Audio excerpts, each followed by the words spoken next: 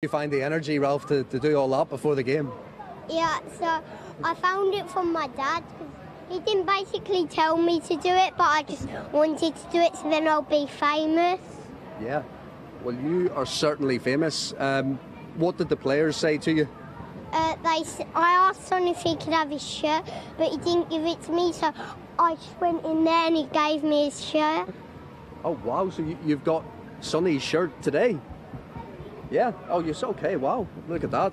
And we were talking to Vicario, the goalkeeper, and he said that your warm up gave the players a lot of energy as well. How nice And was he that to said hear? we could need me because there's lots of injuries.